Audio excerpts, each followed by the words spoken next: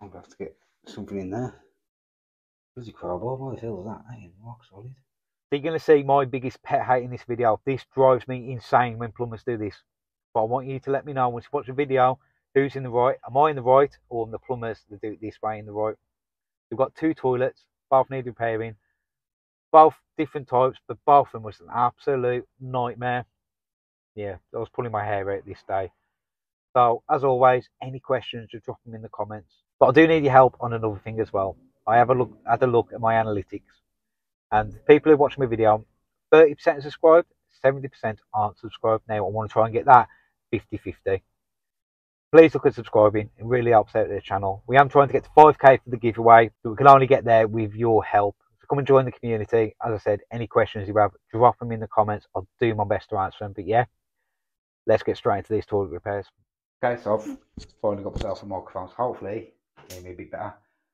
Got a toilet repair to do this one's been leaking. I've had a new floor fitted and the toilet started leaking. So let's take a look. I'm struggling a little bit to push it as well, but the leak is actually from, you're not going to see around there,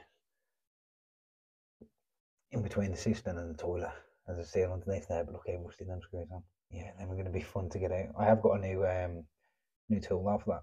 I'll show you. So it's like a wing nut adapter put into your screwdriver or your impact drill. I've got two for know, seven quid. That should fit straight on onto that wing nut. Right. It actually fits straight into my wheeler. Prior to the plumbing gods, this works.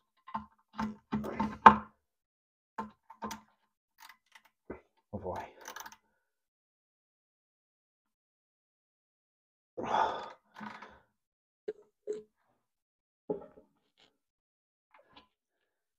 Are working? probably was It's just moving round and around and around. So the other side's the same. And I'm just going to loosen the. And I've snapped. Can't get the screwdriver on that. That one's come out. This one. Rock solid. Now five minutes into a job, you're thinking, why Try something to be there for me, honey. See if that helps. Hopefully that'll do the trick. Right, so got a little stump in there. Let's give it a try. Okay, okay, come on. Success. We got it out. Cold inlet disconnected to the fill valve.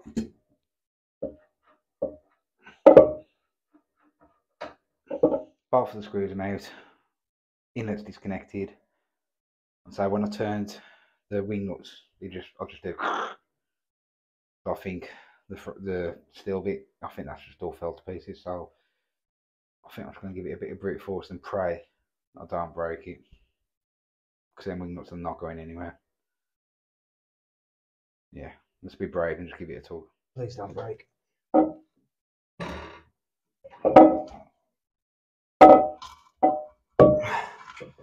Can't see I'm stuck on.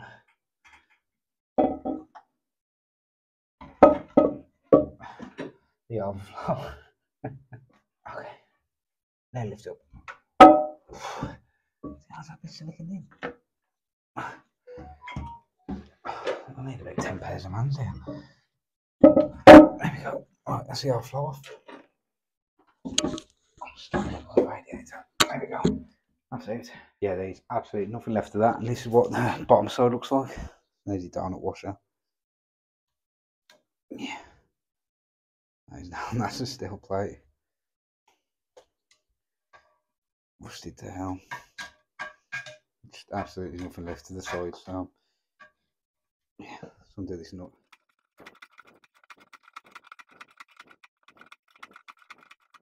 Yeah, that's it just about to the siphon out. I can't get this handle off. There's like a little screw around here, so all to do is bend this bit here, try and bend it out.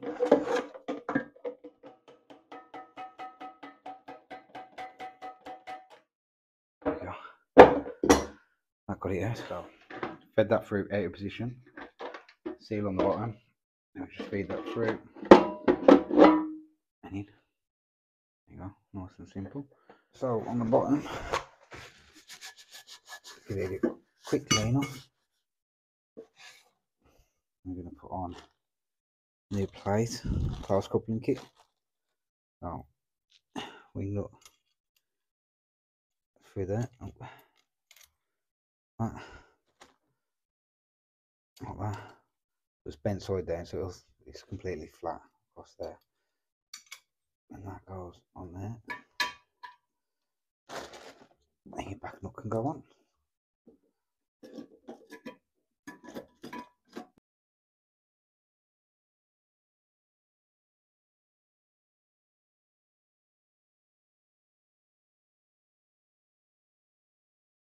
Let's clean all this off.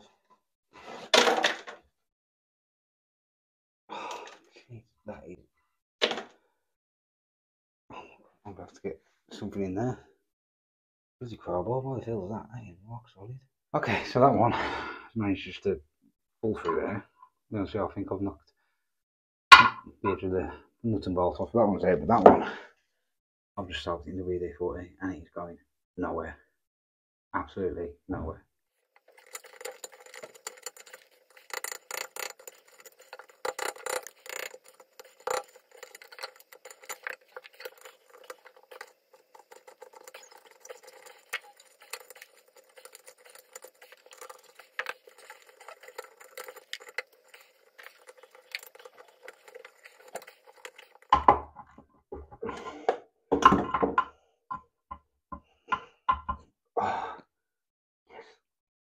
You know, thank God for that. So we thought we'd take apart the ball cock and look. It's inside there.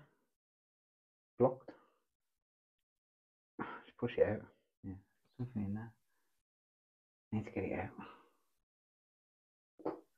Hmm. Okay. That work? Yeah. Little Allen key. There you go. Right. Hear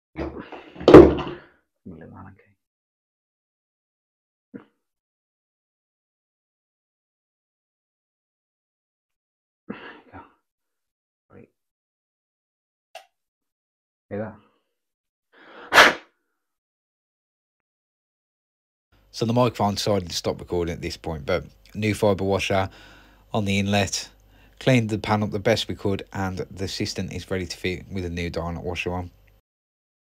So we just lined it up, threaded the bolts through, then we can get down the left hand side, reconnect the overflow, and just make sure that it's fed through.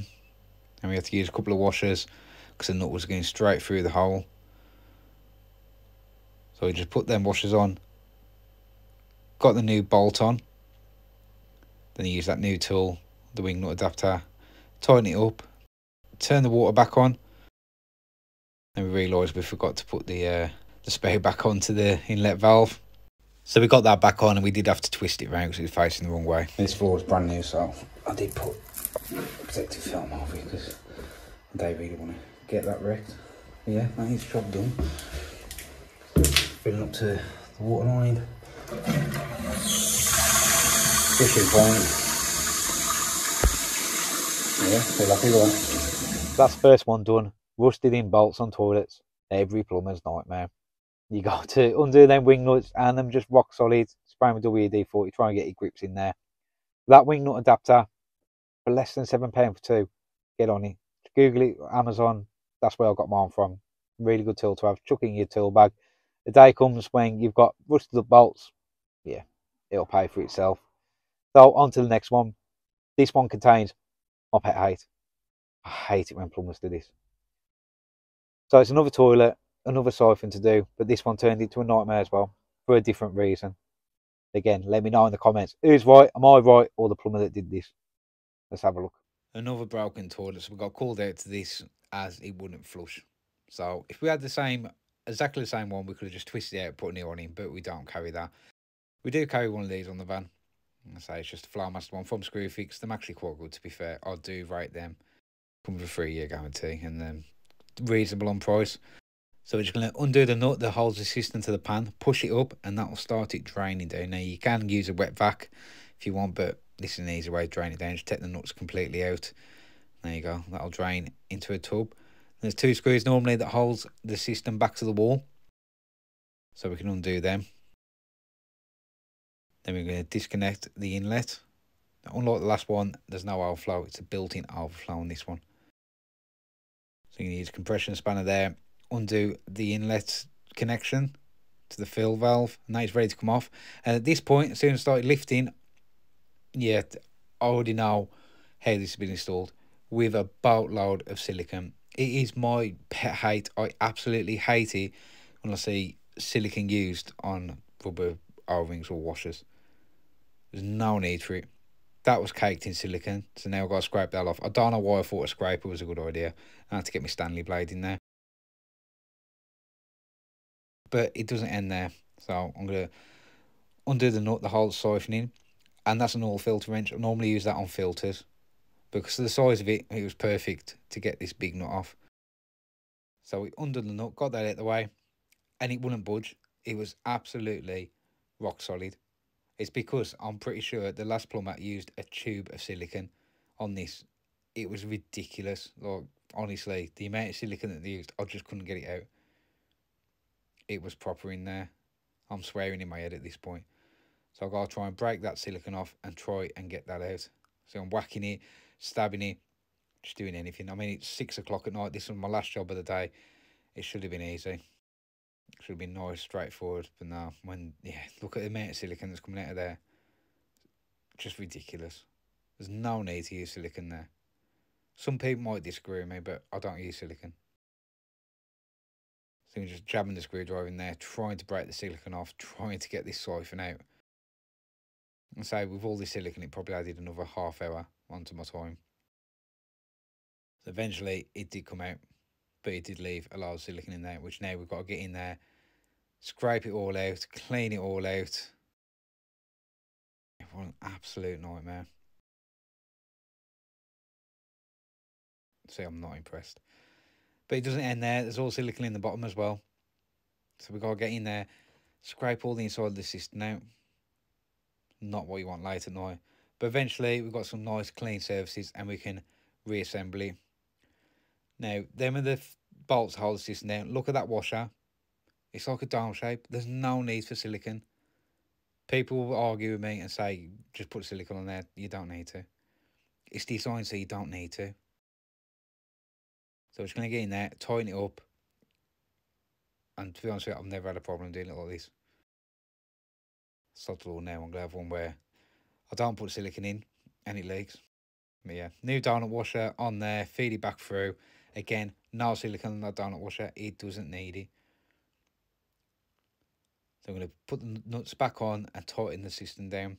So we're not going to over tighten right hand one until we've got the left hand one in. So we're going to evenly tighten them up now just to pull that cistern down and lock in that donut washer. Again, new fibre washer on that flexi. Then we can get that reconnected onto the fill valve. Turn the water back on and just check for any leaks. And it was absolutely fine. Checked all around the back, all around the front, everywhere. There wasn't one leak and no silicone used. So we just got to connect up the flush button, get that on, give it a flush, and take it back off because we forgot to put the screws back in.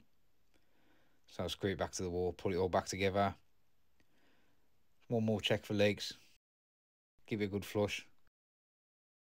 Checked all the way around and said, absolutely, no problems, no silicon used, exactly the way it should be. Let me know in the comments if you agree, silicon or no silicon. Yeah, that is one happy toilet.